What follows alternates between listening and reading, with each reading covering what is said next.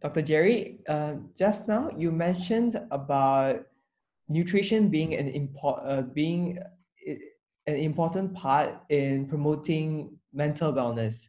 So, how how does nutrition actually affect the brain? Yeah, um, there there are a number of ways.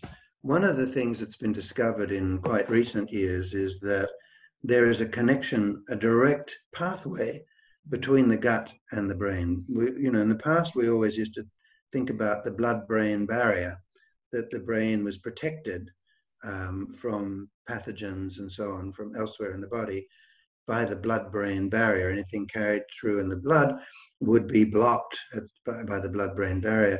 We've since learned in recent years there's what's being called the gut-brain axis, which is a pathway from the gut to the brain, and the vagus nerve seems to be one of the main uh, components of this axis. Hmm. Um, so uh, what we're learning is that if the uh, bacteria in the gut, what we refer to as the microbiome, it's a whole system of microbes. Um, so we call it a biome rather than just microbes. It's a it's an ecosystem. Mm. If that's balanced, if it's healthy in the gut, then that actually uh, communicates with the brain um, that it is healthy and it sends correct nutrients to the brain. The brain, we should note, uses 20% of the body's energy. When you consider in terms of mass what a little lump of tissue the brain is compared with the many kgs of, of the rest of the body, 20% of the body's energy goes to the brain. That's our command center. So it's important that that command center has proper fuel.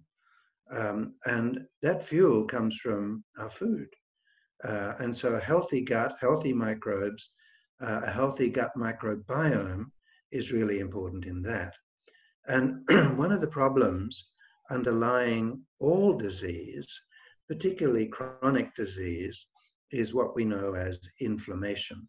Mm-hmm. inflammation occurs in the gut when food is not properly digested.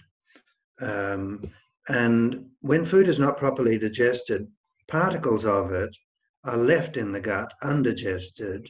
Now, that can come about through food being improperly prepared, uh, unhealthy food, not chewing food properly, um, doing things that inactivate the natural cycle of uh, gut metabolism, including drinking iced water with a meal because um, temperature goes up during digestion. Temperature in the gut goes up during digestion.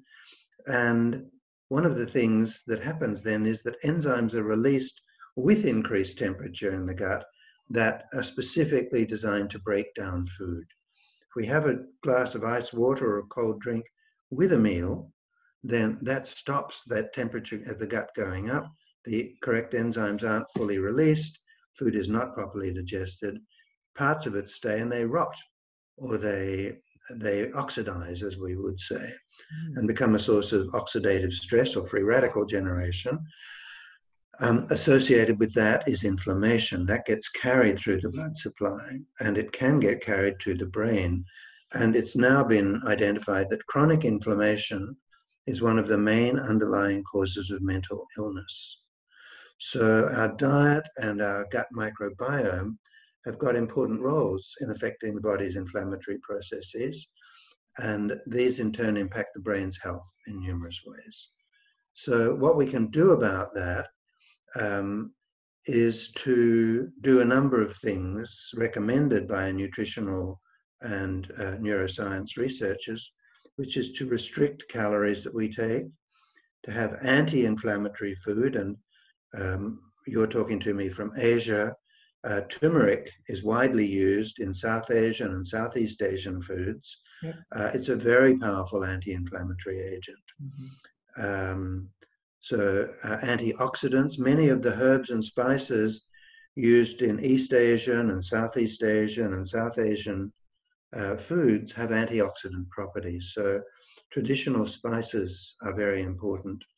Um, frying food is uh, one of the ways that causes oxidative stress. Mm. Uh, red meat is a source of oxidation. Um, so cutting down on the amount of red meat eaten is important. Um, some of the supplements that have been found uh, to reduce inflammation are omega-3 fatty acids, which we can get from uh, fish oil or from krill oil or from seaweed. Um, people who are vegetarian or vegan don't want to eat fish oil or krill oil supplements, and they say, where can we get omega-3 from? Well, same mm-hmm. place the fish get it from, which is seaweed. Um, other things are prebiotics, like yo- uh, probiotics, sorry, like yoga, yogurt, not yoga. Yoga is also very good, but um, we're talking about foods here. Um, yogurt, um, kefir, um, kombucha, mm. kimchi from Korea, um, fermented soy paste. Uh, these are all fermented foods that um, help support and promote the brain's health and to drive new, the growth of new connections and new pathways in the brain that we call neuroplasticity. Um, also, prebiotics are important. Prebiotics um, aren't really biotic in, in a direct sense according to their nature, but they stimulate a process of microbiome activity.